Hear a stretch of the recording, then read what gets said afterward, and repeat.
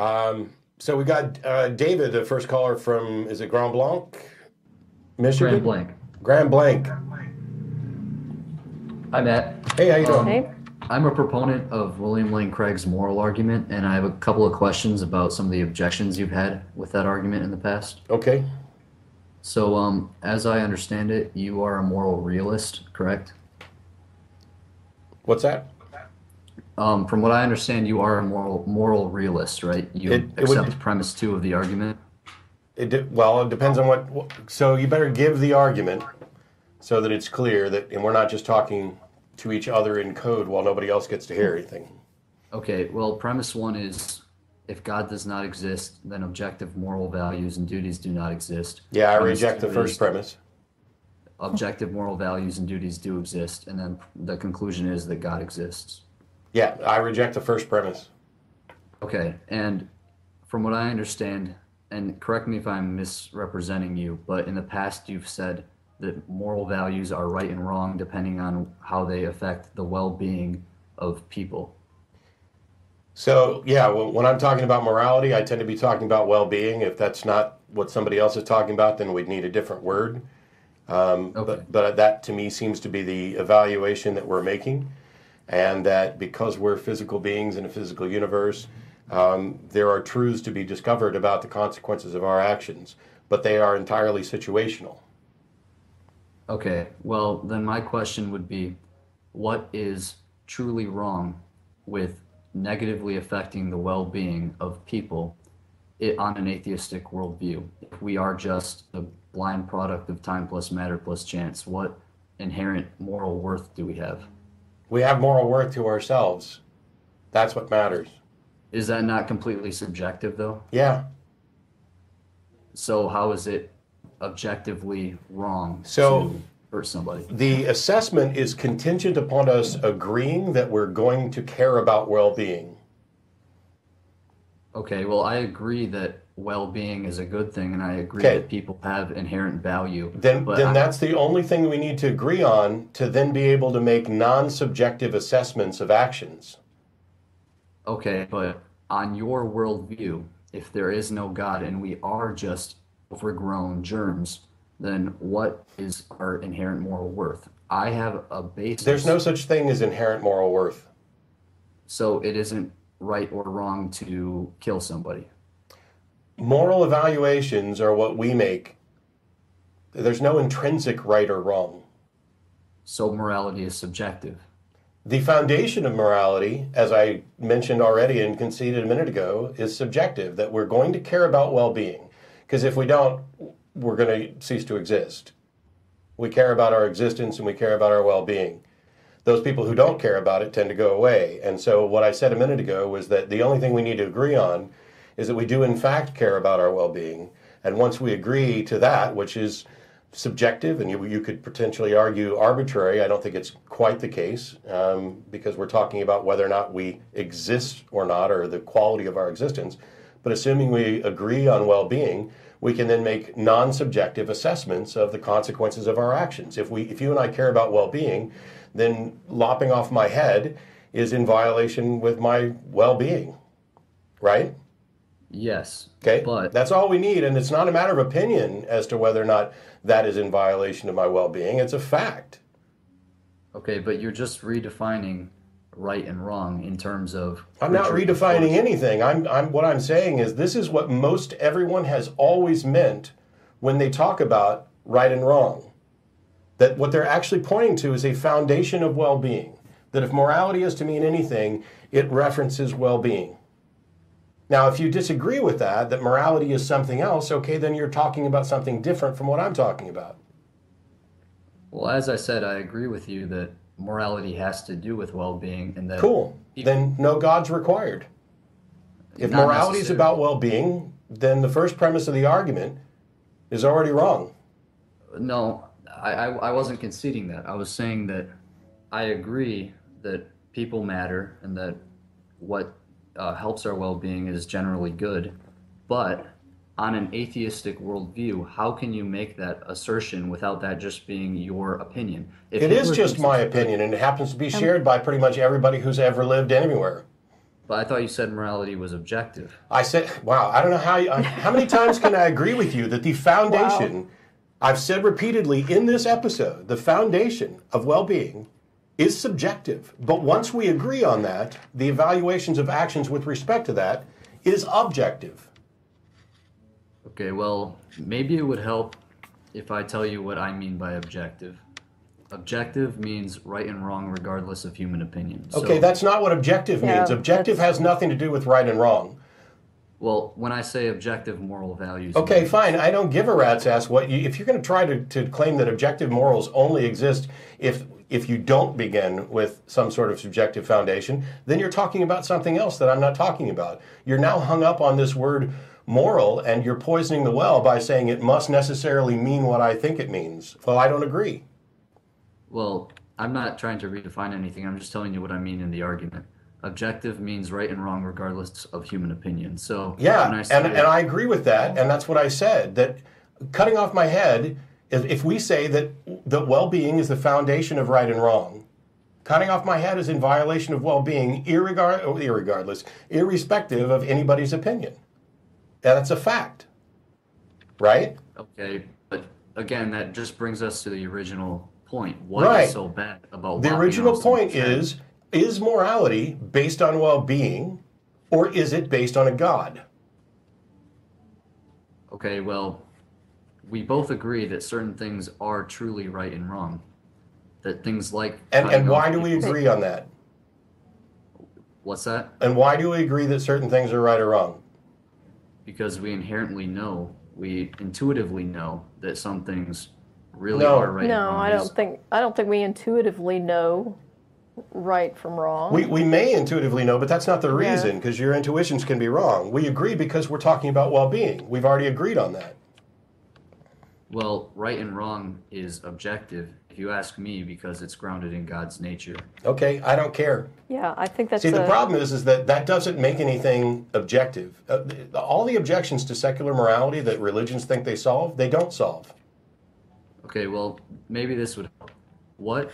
Okay, Hitler thinks that it's all right to kill six million Jews. Okay. Correct. Well, So I, I makes suppose he his thinks it does. What makes his opinion any worse than your opinion? I'm sure that you think otherwise, but is that not just your opinion?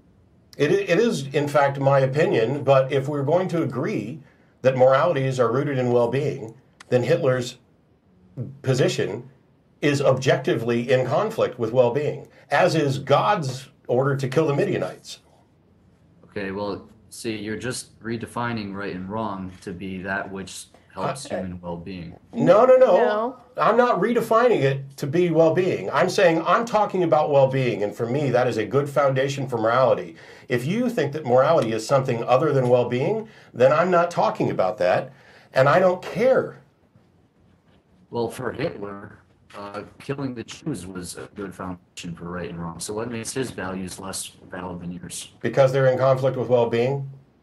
But that's just your opinion. Is Yeah. not? and shared by six And- million Jews, I might add. Yeah, well, well what, what in your view makes it wrong? Because it is contrary to God's necessarily good. That's just your opinion. No, it's not. Because if Yes, there it is. God- It's not my opinion. I don't Yeah. agree with you that it's in conflict with God's view. Therefore, you're- we have a disagreement. How can you you're show me what God's view is? You can't. Ha- you don't have no way to demonstrate it. So it's just your opinion. Well, okay, if there is a God, and his is his nature is the foundation for objective moral values and duties by which we. How do you know that's the case? What's that? How do you know that's the case? I'm not saying that I, I, I don't have to show that God exists in order to. Okay, then I don't have to show anything because what I'm saying here is you're you're not solving the problem by saying that this is about my opinion.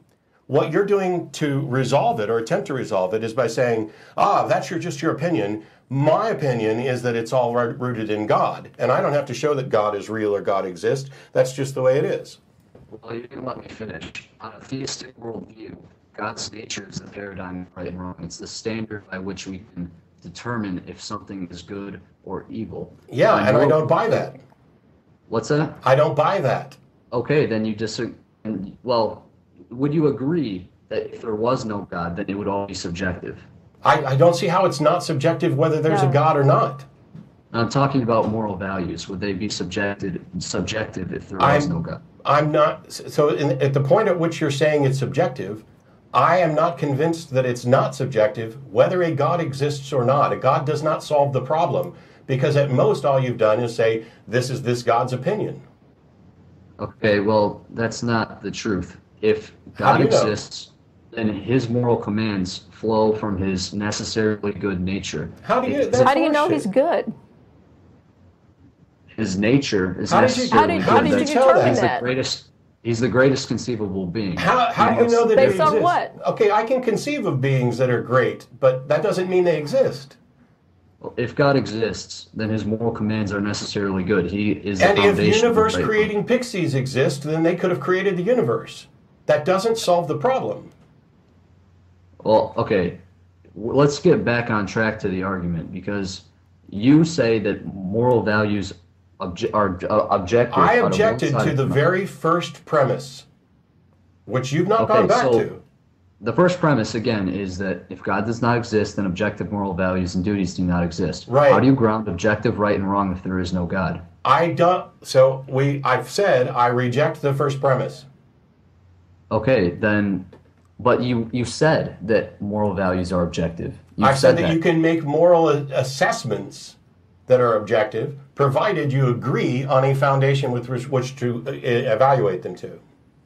Okay, well, like I said, if something is objectively right or wrong, that means it's right or wrong regardless of human opinion. Yes. So, cutting off my head is right or wrong, regardless of your opinion of it. As long, but it's right or wrong with respect to what? And I'm, I, I'm saying that it's right or wrong with respect to well-being, and you're saying that it's right or wrong with respect to God's nature. And I don't Okay. give a rat's ass what God's nature is because you haven't demonstrated there is a God. And if God's nature was to turn around and say, kill your child or kill the Midianites or anything else, it doesn't make it morally correct. Either something is right or wrong because God says so, or God says so because it's already right or wrong.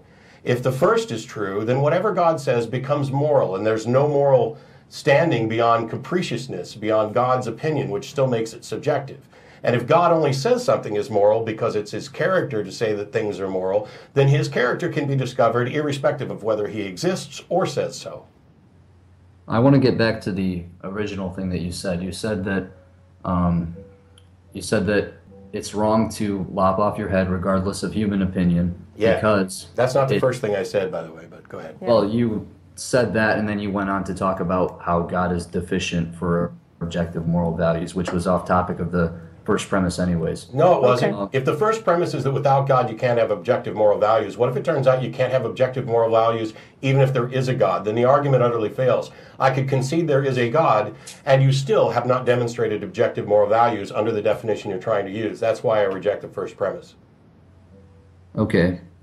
Well, I still want to hit on that one point, though, because I don't think you've sufficiently uh, given a foundation for objective moral values. It's not my no goal or requi- requirement to give a foundation for objective moral values. Your argument begins with if there is no God, there is no objective moral values.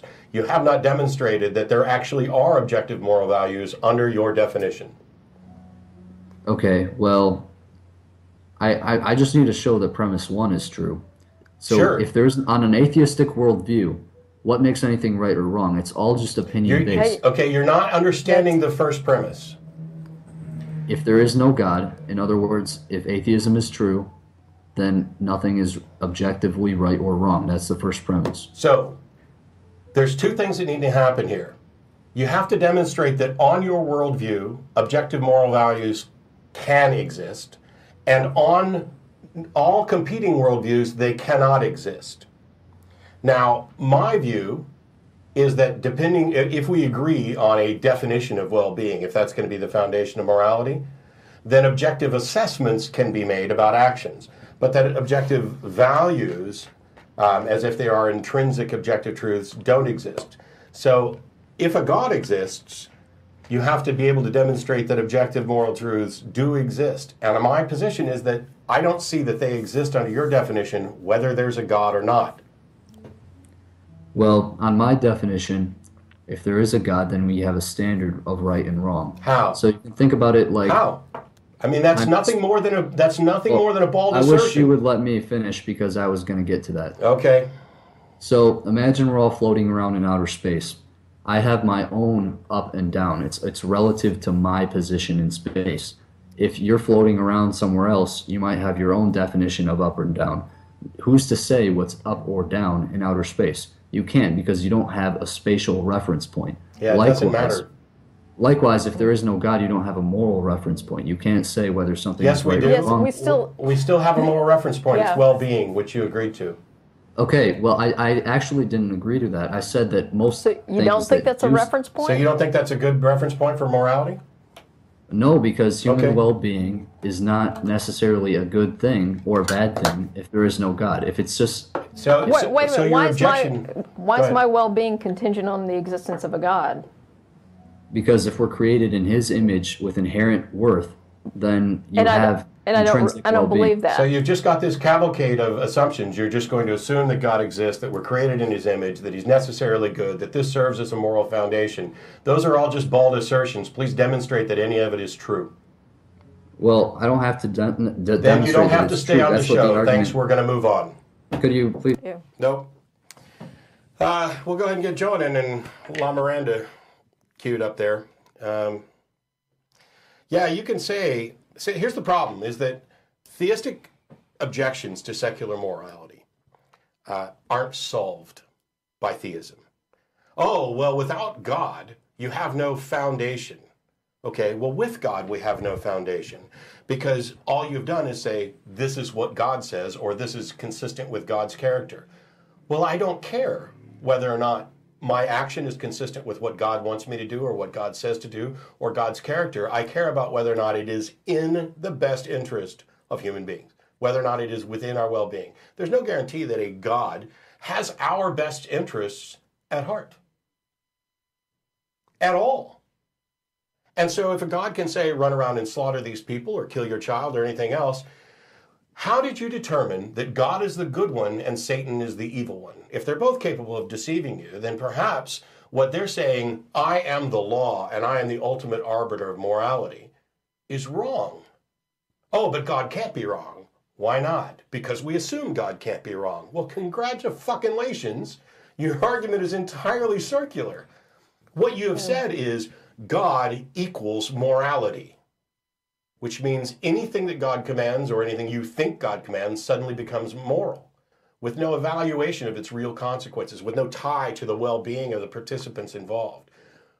Theistic morality is an epic failure, and it is used to get people to commit atrocities in the name of their God with no consideration of humanism, humanity, or what should be the right thing. Now, if you don't agree with me that well being is a good foundation for morality, that's your prerogative, and the best I can do is try to convince you through debate and discussion. But religion has the same problem. This is what my God says. This is what my God says. Well, how do you resolve that conflict? You can't beyond coercion, conversion, or conquest. Sitting around arguing about whose God is right doesn't get you anywhere. But we can sit around and discuss what is or isn't in our best interest. And that's how we make progress. And that's why humanism is infinitely more valuable than any religious dogma pertaining to morality.